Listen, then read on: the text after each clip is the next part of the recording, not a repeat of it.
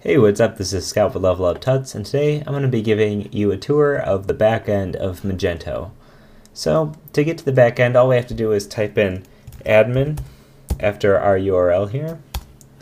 It's going to take us to the login, and it's just going to ask for your username and password here. So we can have it as it was, how you entered it uh, when you installed Magento. Okay, and it's telling me Magento Community 1.6.1 stable is available now. Um, I'm not quite sure why it's telling me that because we have 1.7 installed. Uh, this thing, these messages, like uh, they like to pop up and annoy you all the time. So what I would recommend doing is going to your message inbox right away here. And then uh, here's all these different messages. Looks like this one is actually from October 2011.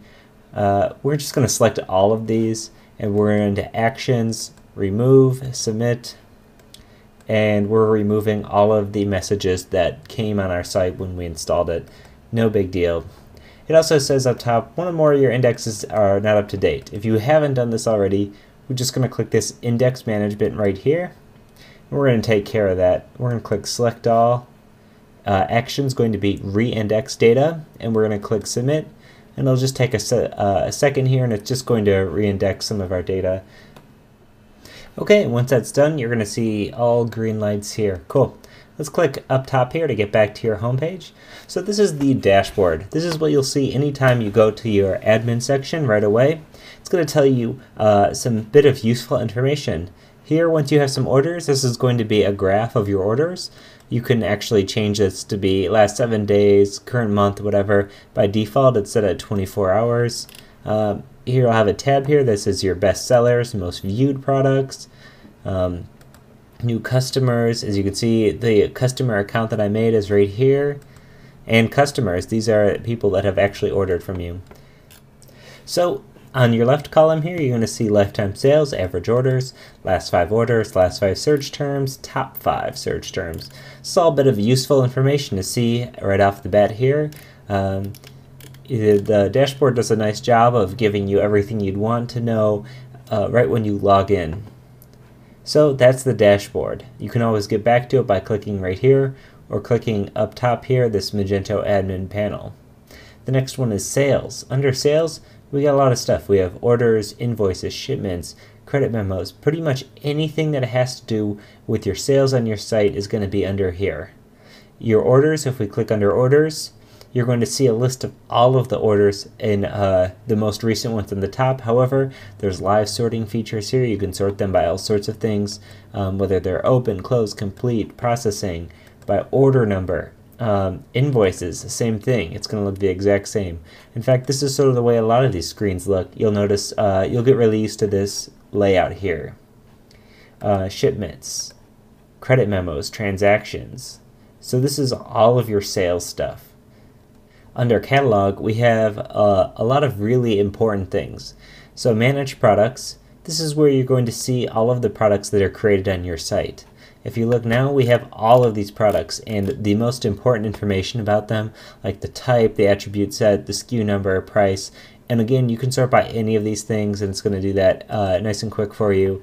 Uh, you can do bulk actions, delete, change status, update attributes, uh, which is really nice. It's super easy to do. Let's say if you need all of them to all of a sudden be enabled, you could uh, select all, select enable, and then under actions, um, update attributes, and it's going to make every single one enabled then. So that's pretty cool. Uh, under categories, you're going to have the different categories. In your categories, if you remember, let's go to the home page for a second. Our categories are furniture, electronics, apparel, and then inside of those categories are subcategories, and then some of those have even further subcategories.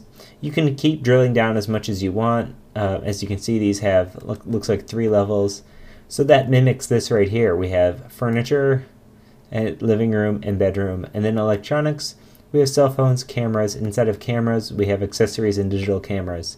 So this layout right here that you see in your categories is going to be what is in your navigation here. Click back here, we can see the important information about our categories. If you recall, when we were on, let's say, the furniture page, it's going to have this header image.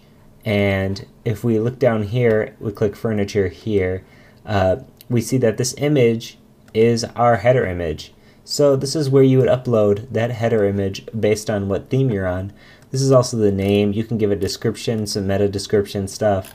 Um, under display settings, uh, you can say, you know, what it shows, a custom design, uh, category products. You can you can change all the stuff. It's really nice and cool. Um, every single one of your categories can look completely different if you so choose. Um, you also notice that there's some numbers here. This is saying that there's four products that are under living room and two products that are under bedroom. This is nice, uh, you know, quick at a glance if you just need to see how many electronics you have on your site. You got 42, apparel 66. So this is your categories. Um, we'll get into more with categories in the next couple of lessons. We'll show you how to create your own and what kind of options. Now attributes and attribute sets are really interesting and really um, a robust part of Magento. So let's click our attribute sets just so you can get an idea of what they kind of are. So our attribute sets are what types of attributes your products will have. So obviously like a t-shirt is going to have um, what like size and color. Let's click on this. You can see these are the attributes for t-shirts. It has name, model, SKU, weight, status, um, some other stuff, and uh, we have price.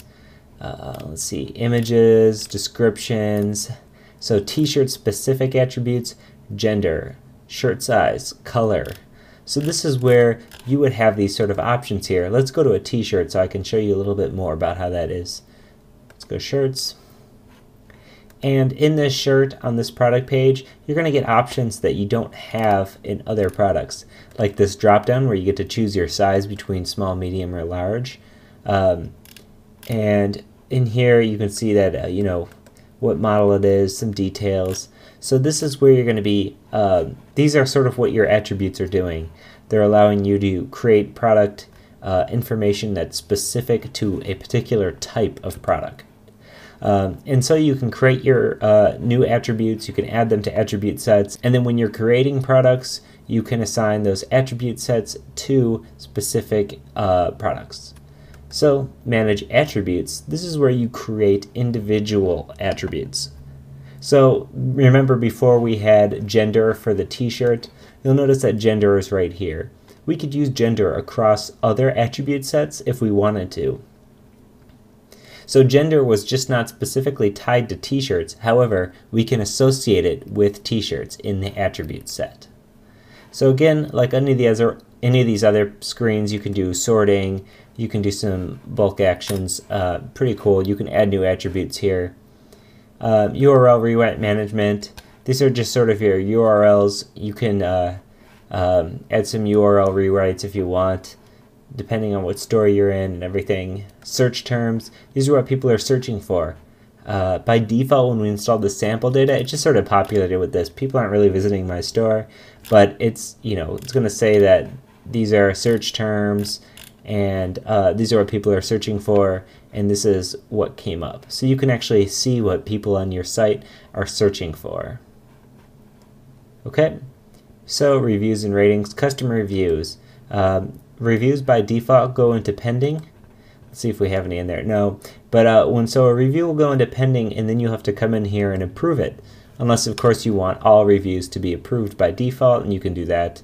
Um, reviews and ratings, they sort of work like how you'd expect them to. Just like anything, you'd go on Amazon, a customer can leave a review or a rating on any of your products.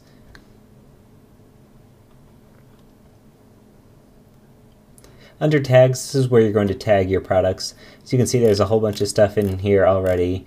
Um, Apple and Acer, whatever. Uh, this is where you can create your own tags if you want, but usually this is where you're going to be modifying tags that uh, customers have placed on your products if you give them that capability. Google Sitemap, you can create a sitemap uh, to submit to Google. This will, you know, help out with your page ranking. It just sort of gives Google a good idea about where your content is on your site. Just like sort of a, like exactly like it says, it's a sitemap.